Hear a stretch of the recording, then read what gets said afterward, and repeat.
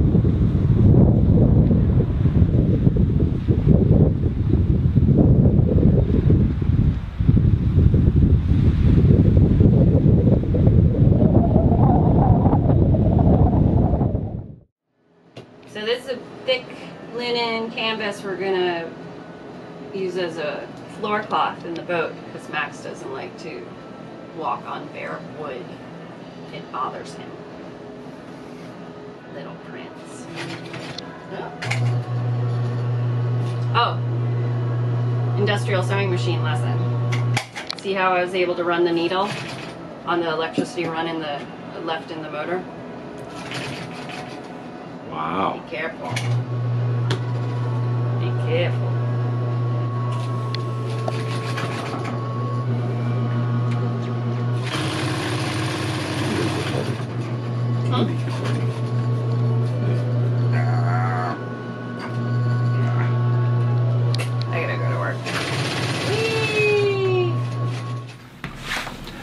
Just left for work. I sent her off with a belly full of pancakes. Uh, while we were working before, I realized I've got this library behind me uh, full of books she and I have acquired throughout the years that are all nautical related, marine related. A number of them have proven invaluable in our efforts to maintain and sail Inconceivable. And I thought I'd go through a few of the select volumes that I found most useful.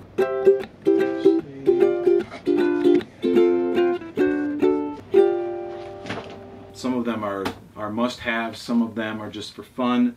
Um, they're all very useful. First and foremost, the most essential, um, Chapman Piloting. Uh, this is the, the seamanship go-to book. Anything related to uh, having a craft on the water, how boats relate to each other, uh, uh, terminology, it's all in here. There are chapters that I was like, oh, I'll just skip this, but I read it, like chapters on uh, harbor terminology. I thought I knew what a dock was. I didn't know what a dock was. Um, a jetty, yeah, I, I thought I knew what a jetty was. So, this is a very handy book. Um, uh, gets into uh, boat, not just boat handling, but uh, uh, like right of way and, and things. It, it's extremely, extremely important that boaters know everything that's in this book. It doesn't just cover the basics, because this is a big book, but uh, it's a good one to have. On that same note, uh, the Annapolis, very similar to the Chapman, but it's more directly sailboat related. Um, points of sail and uh, the differences between designs, you know, fin keels, full keel, um, how to rig your boat, how to to uh, trim sails, uh, all that sort of thing. Uh, it's covered in this book. It's extremely uh, helpful. Uh, Nigel Calder is a boat maintenance and repair genius, and he's written a number of books uh, um, that help boat owners in maintaining, repairing, and sailing, driving their boats. Uh, this one in particular, the boat owner's electrical and mechanical manual, or is it mechanical and electrical manual? I thought I knew all there was to know about 12 volt electrical systems. I did not. Uh, you know, I thought batteries, wires, switches, it's all very simple, low voltage. No. Uh, these batteries on our boats can kick out thousand plus amps. Uh, there's a lot of current running around in this, these boats, and the boats are made of flammable material. So understand your electrical system. It's even just 12 volt. Understand your electrical system because the, the safety and security of everyone on board, not to mention just, you know, keeping your boat around, uh, depends on a, a, a well-maintained, well-designed and well-maintained electrical system. This book will help you in that regard. He also, Nigel Calder also wrote uh, this very simple, it's a thin book, but marine diesel engines. Uh, a, marine diesel engine, a diesel engine in general, is a very simple engine. Uh, they're, they're not complicated at all. It's not like you open the hood of a modern car and you see this, oh. Um, diesel engines are very simple. That being said, it's very important you understand how to maintain a diesel engine. Well maintained, you know, change the oil regularly, uh, change your, your fuel filters. Clean fuel is very important for a diesel engine. You do these things, your diesel engine will run a very long time, um, which is important. You're out in the middle of the water, you've got the engine running, you don't want that thing to quit. Very helpful book. Thank you, Nigel Calder. Ah, all right. Those I would consider kind of must-haves for maintaining uh, your boat. Now we'll get into some of the things that are just you know helpful guides. Uh, the Eldridge, if you cruise around the Northeast, you should have a copy, a current copy of the Eldridge on your boat. Um, I know a lot of people are like, oh, it's just a tide table. It's not just tide tables. You go in here, the tides, how they relate to currents, how the re tides relate to other tides in a, you know, kind of a macro scale. Um, it's so helpful. When we did the transit, all I had to do was look up low tide at the battery and I could see how the currents change by the hour relate to other tides. We made that trip from City Island to Gateway Marina in like six hours. We took our time, we did some sailing, we had fun because we timed it right with the tides and the currents. Had we not done that, a six hour trip could have turned into an all day, get home at night kind of trip. So it's very important. It makes cruising so much easier. Uh, you can sail with confidence knowing that you've got the tides in your favor, the current in your favor. It's very important. You know, I grew up on, on lakes in the Midwest, even the Great Lakes, there's no tides. A seiche. A seiche is like, you know, you get six, eight inches when we were on City Island, our tide was like the tidal range was in the six foot range, something like that. It's similar uh, in Gateway, not quite as much, but it's a significant difference, and that's a lot of water moving in and out. Uh, Rockaway Inlet, the the current's up to, to two plus knots.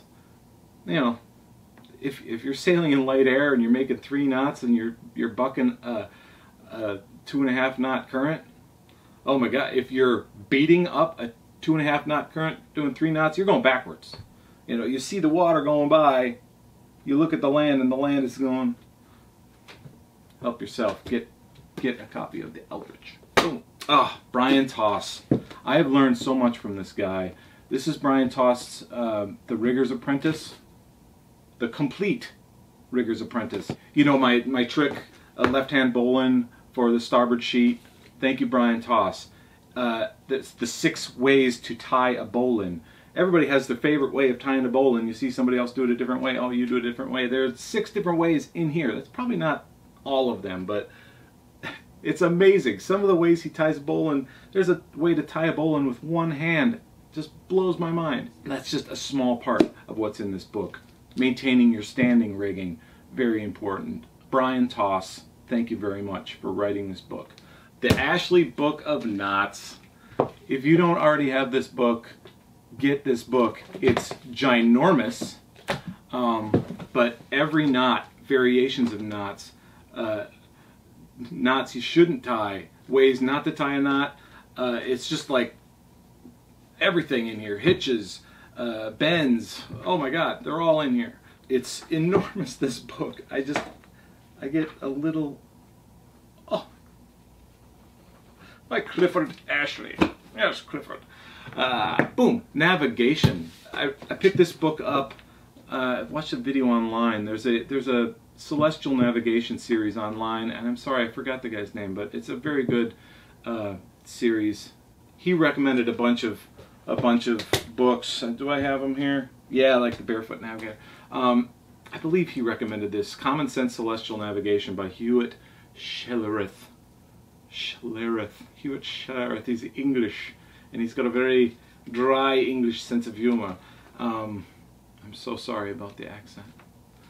Uh, anyway, if you like Monty Python, if you like Eddie Izzard, uh, that English sense of humor, you will like this book. It, he takes what is otherwise, hi Mexi, what is otherwise a very kind of academic, dry topic and, and makes it more interesting.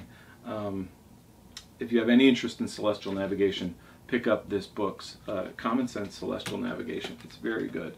And with that in mind, The Barefoot Navigator by Jack Lagan. Um, this book, if you're in the middle of an ocean and everything starts to fail, your chart plotter's burnt out, uh, your watch stopped working, no clocks, compass is broken, this guy is going to get you safely to port. Uh, it's kind of beautiful what's in here. There's, there's classic, like ancient navigation techniques that he covers that that will save your life potentially. It's a good one. It also it's just interesting because the stories are kind of anecdotal and and beautiful in their own way. I love it. Also, when it comes to navigation, knowing how to get places, and there's a lot of cruising guides. This is a cruising guide. It's not really a cruising guide. It's World Cruising Routes. Let me just say. Uh, Jimmy Cornell wrote World Cruising Routes. It's not like where to anchor. It's not where to eat, um, where to buy the cheapest hat. This is a guide to get you from point A to point B, uh, from the easiest Florida to the Bahamas to something epic like uh, uh, Hawaii to Panama is in here. These are logistic nightmares unless you're you're prepared. His experience, his knowledge, useful, very useful to a cruising sailor. Uh, I recommend that book. Also, on the topic of navigation, you know, nautical almanac, sight reduction tables. This is the old, uh, this is last year's almanac. I have uh, this year's on the boat. Um, little inconceivable. Not that I have a sextant. Uh, that's one of the things that's on my list of to gets. Another handy reference, voyaging on a small income. Our friend Patrick, who you've seen in the videos, Patrick loaned me his copy uh, a number of years ago, and we loved it so much that we picked up our own. Uh, Lynn got this, I think, as a present for me, or a present for us. Um, uh, Annie Hill, she wrote this book for people that are on a tight budget, limited income, that want to do some serious voyaging. Uh, and she covers everything from, from how to how to do maintenance cheaper, cooking, uh, everything. Even the boat itself. The, there are boat designs in here that are uh, low maintenance type boats. Uh, most of them are these junk rig, you know, unstayed masts, so you, are not dealing with a, a, lot of standing rigging. It's a little old, so the numbers don't add up. 88, yeah. Uh, so the numbers are a little different, but it's still very useful. Uh, it's very good. Thank you, Annie. And now the fun ones. This beautiful book. I got this on sale um, at Barnes & Noble years ago, long before I was even contemplating having a boat. I was still thinking, oh, a boat would be nice, but I, I found this at Barnes & Noble, and it just I sat down on the carpet and went through this from uh, cover to cover. It is so beautiful. There are some amazing, amazing boats in here. Unfortunately, most of them are no longer in production. They're all still available. Uh, I don't know if you're like me, you go on to Yacht World all the time and just, you know, peruse the, the dream the dream boats. It's an actual term, dream boats. I have dream boats, and some of them are in here. Uh, of course, top of the list, uh, top of the price range, Cherubini. Uh, look up Cherubini yachts. They are so beautiful, classic looking uh, schooner bow. Oh, they're just so beautiful, Cherubinis. Um, uh, but they're they're more um, budget friendly. well, Pacific Seacraft's not really budget friendly, although the Pacific Seacraft Flicka, have you ever seen a Flicka? They're these little tiny, they're called micro ships. They're, it's a little 20 foot boat uh, made by Pacific Seacraft. It's a solid 20 foot boat, and these boats have circumnavigated. Uh, Pacific Seacraft Flickas have gone around the world um, because they are so seaworthy. You, you read stories about Flickas sailing in conditions where other people are like three reefs and they're still ripping sails um, Flickas are just chug, chug, chug, chug, chug. Fantastic boat. Also in this book, uh, the Sam Morris um, Bristol Channel Cutter is such a beautiful classic. Uh, it's a it's a channel cutter design, or based on a channel cutter design. It looks like one of those old Bristol cutters. Um, long bowsprit and boomkin, big rig, beautiful, beautiful boat, and will take you anywhere solid, solid boat. Lot of room. It's only 28 feet, um, but it's it's a lot of boat for 28 feet, and and they're relatively reasonably priced online. You can find uh, um, some relatively cheap Bristol Channel cutters. Really great, really great book. Can you tell I like it? Oh, that's a big, big stack. Um, another fun one, The Marlinespike Sailor. Hervey Garrett Smith. He, Hervey Garrett Smith uh, wrote two, uh, or I have two of his books. I'm sure he wrote more. The Marlinespike Sailor and The Art of the Sailor. They're both about uh, rope work, basically, and cord cordage, cord work, making things out of out of ropes and cords and and anything fiber. Um, some knots. What do you want, buddy? Yeah, it might be time for you to go. Hi. Um, it's really handy. All the whipping, um, lashing that I've done on Inconceivable, uh, there, there are things in this book like that that just make your, your boat just more boaty. Instead of using a pipe clamp to hold something on a, on a stanchion, lash it onto your stanchion. It's, it looks so much better, and it's it'll last longer than a freaking pipe clamp. It's not going to mark up your stanchion. It's just lashing things so so so cool. Um, and of course the whipping of lines and whatnot. You've seen me do that on the videos. That's a fun book. Um, and the last one I grabbed. Um, this is a biography, sort of a, a boat designer's biography. Uh, Iain Oughtred, A Life in Wooden Boats. Um, Iain Oughtred designs, is modern designer, designs some incredibly beautiful wooden boats. Um, these are modern modern designs, but they look they're the classic looking boats. They look like classic work boats, skiffs and, and dories, and oh, it's just really beautiful and very interesting character too. Um, oh, there he is surfing down a wave. He's surfing down that's awesome. Oh, he looks like, he looks so salty. This guy should have a pipe sticking out of his mouth. Um, this is a beautiful book, Iain Oughtred. And look up his designs online. You can find Iain Oughtred on the internet.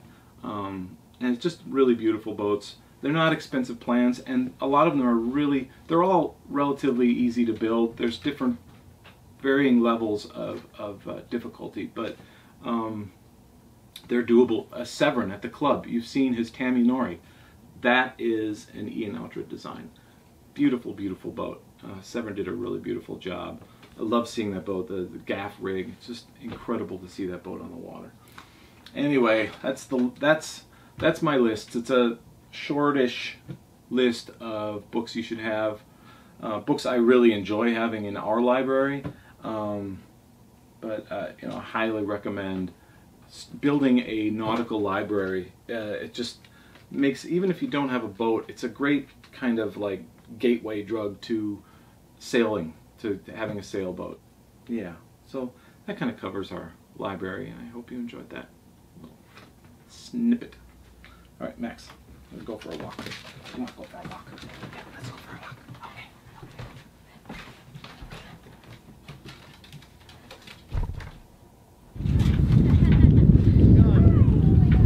Miss you guys.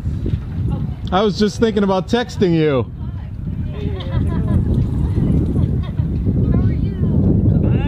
What's up, buddy?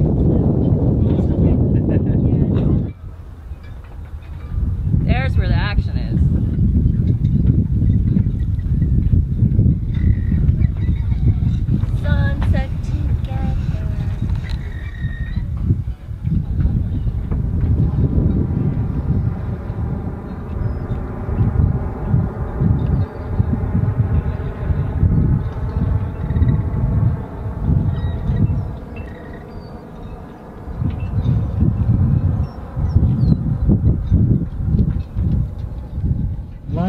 such a baby?